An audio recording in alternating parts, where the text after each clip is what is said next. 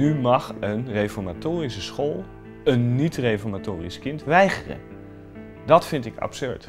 Ik werd minstens vijf keer per dag uitgescholden. Revo, Revo, je bent Ja. R en E en F en O, O, Revo. Willen die mensen bij ons naar school?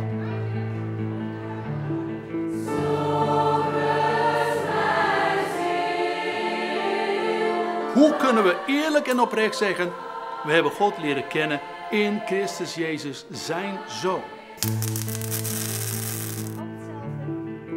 Wat belet ons om dat onderwijs zo te geven dat het goed is? En wat belet ons om een eigen toelatingsbeleid te voeren?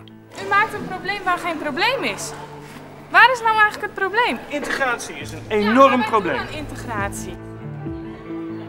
Nou, en dat betekent inderdaad dat er voor die orthodoxe scholen uiteindelijk geen plaats meer is. Een acceptatieplicht en dus toegang voor iedereen op iedere school. De SP wil een einde maken aan de toelatingseisen voor religieus bijzonder onderwijs. Christelijke en islamitische scholen mogen nu leerlingen weigeren die niet gelovig zijn. De SP vindt dat niet meer van deze tijd. En nog belangrijker, dit toelatingsbeleid zou integratie tussen leerlingen tegenwerken.